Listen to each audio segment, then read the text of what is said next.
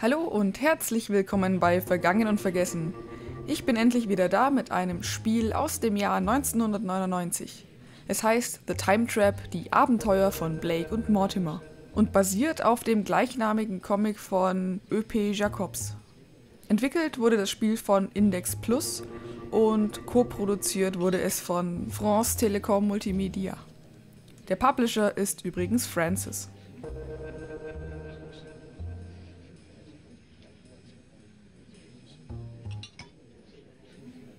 In The Time Trap spielt man Professor Mortimer, der das Testament eines verstorbenen Kollegen erhält.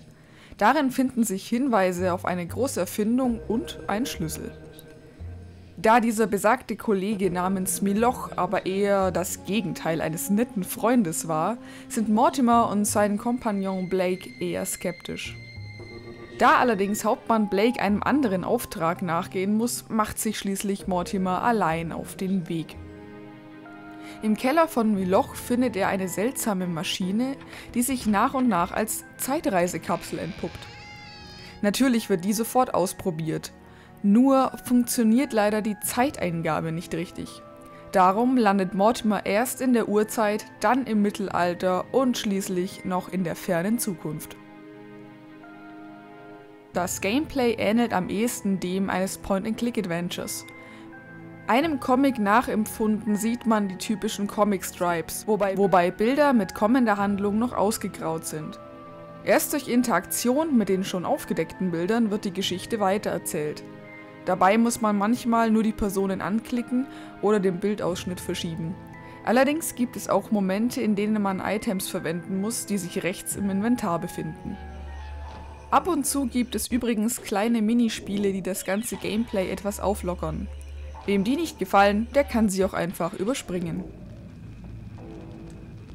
Die deutsche Übersetzung ist im Großen und Ganzen sehr gut. Allerdings habe ich kleine Passagen gefunden, die nicht übersetzt waren. Manchmal scheint es auch Probleme mit der Textlänge zu geben, denn die Sprechblasen sind zu klein und der Text schaut manchmal über den Rand hinaus.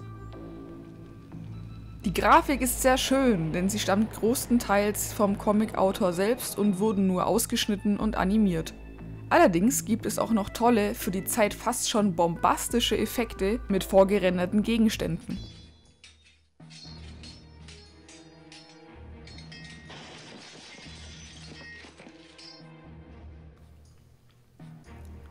Leider besitzt das Spiel keine Sprachausgabe, aber es ist ja auch schließlich ein Comic und der soll gelesen werden. Dafür ist die akustische Kulisse und die Musik besonders schön und saugen den Spieler gleich tief in die Geschichte ein.